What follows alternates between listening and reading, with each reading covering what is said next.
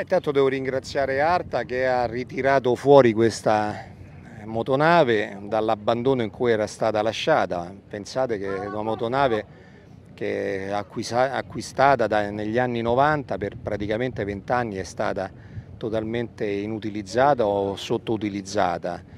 Eh, finalmente poi dopo la regione averla data ad Arta, Arta l'ha ristrutturata, per, è dovuta arrivare fino al Texas per rimetterla diciamo, perfettamente in efficienza e oggi diventa uno dei nostri punti di forza, una delle nostre infrastrutture a sostegno delle ricerche, delle analisi per verificare la qualità delle nostre acque, della, la, la salute complessiva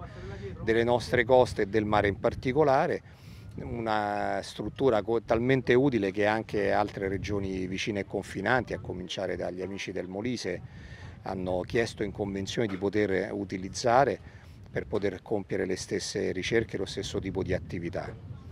Intanto eh, a San Salvo si inaugura la sede arte e questo è un, un altro presidio importante nell'ottica appunto della tutela ambientale delle acque.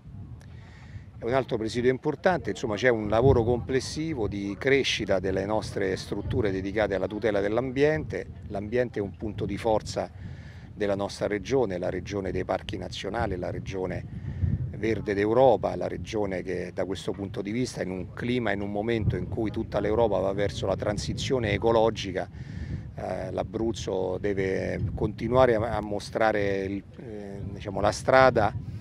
agli altri come ha fatto mm, oltre un secolo fa costituendo uno dei primi parchi nazionali del mondo